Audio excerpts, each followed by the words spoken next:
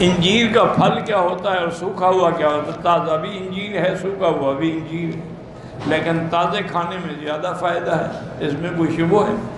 دیکھو نا جی ایک پھل کا موسم ہے، انجیر ہے، تازہ ہے۔ اس کا کھانا جو ہے، سبحان اللہ تو بہرحال بہت بڑی بیماریوں کو شفا ہے۔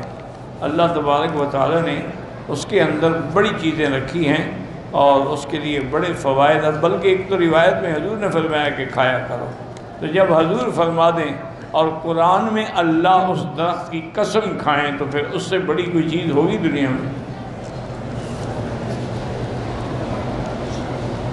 بعض حکمہ یہ کہتے ہیں کہ انجیر کے چار پانچ دانے لیں ان کو دھو لیں دھو کے ایک گلاس پانی میں ڈال کے اس کے اوپر ڈھکنا دے کے رکھ دیں وہ ساری رات رکھا لیں صبح جب اٹھیں نہار میں وہ پانی بھی پی لیں اور وہ انجیر کے دانے بھی کھا لیں۔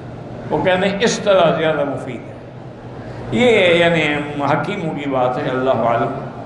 اسی طرح ایک حکیم تھے، وہ فرماتے تھے کہ انجیر لے کے اس کو اچھی طرح دھو کے اس کے ٹکڑے کر کے کسی شیشے کے جار میں ان کو ڈالیں اور اوپر زیتون کا تیل ڈال کے بھر کے رکھ دیں۔